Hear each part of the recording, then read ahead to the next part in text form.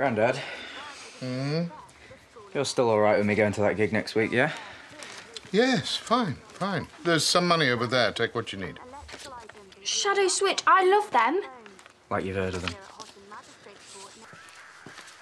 Just bought tickets for the gig, And? and you have to take me. Like I'd be seen dead with you. I have friends, unlike you, but I won't get permission unless I go with someone older. You won't get permission at all. Their songs are basically all swearing. Mum will let me. Well, then I'll say I'm not going.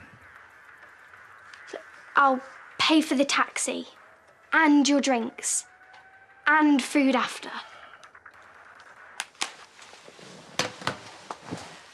Tell you what. Get your dad to say yes. Then I'll take you. My dad'll never say yes.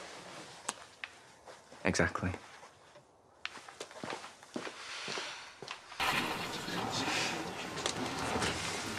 That was your chance. Can I get you anything? Uh, no thanks. But did you get my email? I don't think so. It was from my music teacher. She wants us all to go to at least one live musical event over the holidays. Right. No, I don't recall that. But there's a wonderful chamber group coming to St Winifred's. That might fit the bill. Sounds cool, but Lachlan said he'll take me to see this band in town. Oh, great. Which one? You won't have heard of them. Shadow Switch. Ah, They're awesome.